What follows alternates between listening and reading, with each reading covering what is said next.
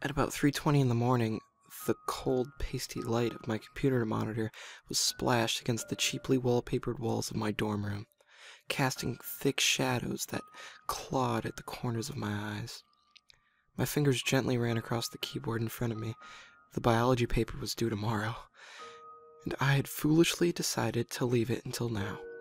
Desperate to finish, but equally desperate not to wake up my roommate, who was annoyed at me already, I pressed on with the paper, eyes straining against the harsh text on the screen. I was slipping into drowsiness when a clicking echoed throughout the room, jolting me awake like a gunshot. I turned around and saw that the printer was printing something. Figuring I pressed print by accident, I stretched over the printer to hit cancel. But my shaky hand hesitated when I saw what was being printed. It was some kind of test page. Color charts, like Grayscale sections adorned the crisp white paper. At the bottom, a short line of text read, The quick brown fox jumps over the lazy dog. Followed by, The quick brown fox jumps over the lazy dog. I breathed heavily. on one hand, it was simply a test page, but on the other, it was a waste of valuable ink and paper. I placed it down again and tried to press on with the essay. Fifteen minutes passed until the same clicking sound once again emanated from my printer. I swore I watched with dismay as it printed out another sheet. Figuring someone was sending me test sheets over a network as a prank, I pulled out the network cable and inspected the sheet. The quick brown jumps over the lazy dog. The quick brown fox jumps over the lazy dog. In rage, I screwed it up. I threw it into the bin. After stopping for a break to calm down, I flushed rage from my body and sat down once again to work. The printer whirred as soon as I started typing. I flung my keyboard to the ground and swung a punch at the printer, denting the front. We are the quick brown fox. Quick brown fox. Confusion replaced my anger when I looked at the third sheet of paper.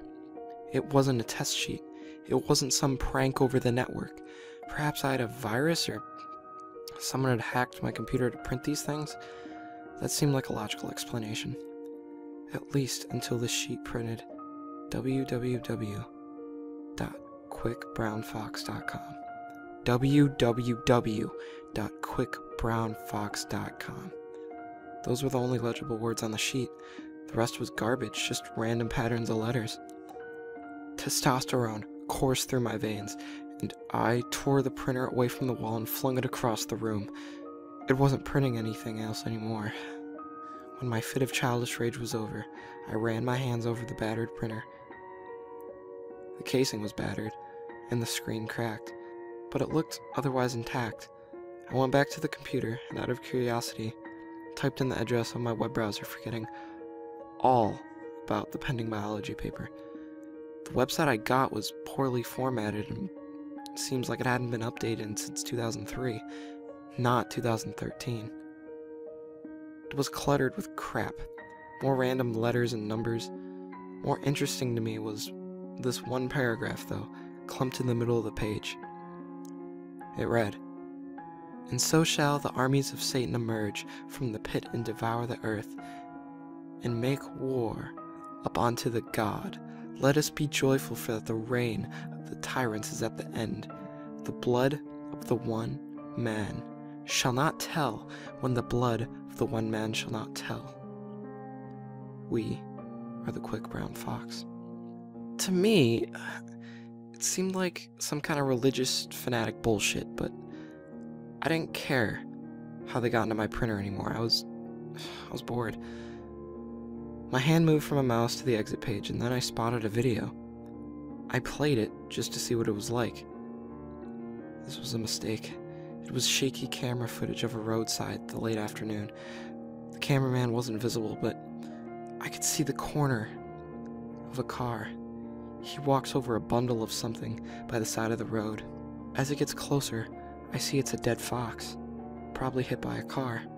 The man's hand extends.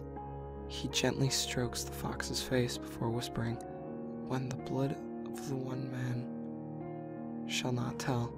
There's a clinking elsewhere in the dorm room. possibly the kitchen. I curse myself for waking my roommate. I walked into the kitchen to apologize for the disturbance, and my heart dropped through my feet. On the sparkling tiles is the fox from the video, stretched out, crucifixion style in front of me.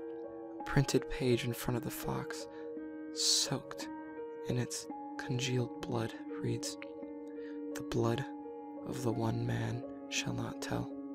I look up at the kitchen and I see, scrawled in Fox's blood, We are the quick brown fox.